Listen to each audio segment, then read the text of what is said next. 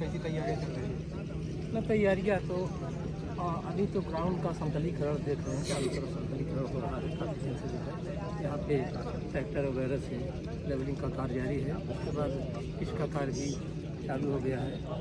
दो tough pitch बनाई जा रही है। उसके बाद बाहर से करीब उत्तर प्रदेश के बाहर से चार टीमें प्रतिभा के साथ कर रही और बाकी इक्कीस जनवरी से टूर्नामेंट प्रारंभ होगा।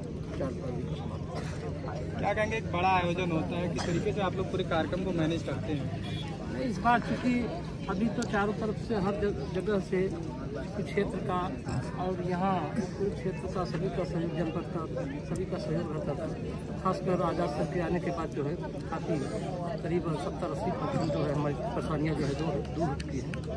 और इस बार हम लोग, क्योंकि दर्शकों को बैठने के लिए बड़ी दिक्कत होती थी, इसलिए इस बार कम से कम हमने सत्तर हज़ार दर्शकों के लिए यहाँ पर बैठने की व्यवस्था की।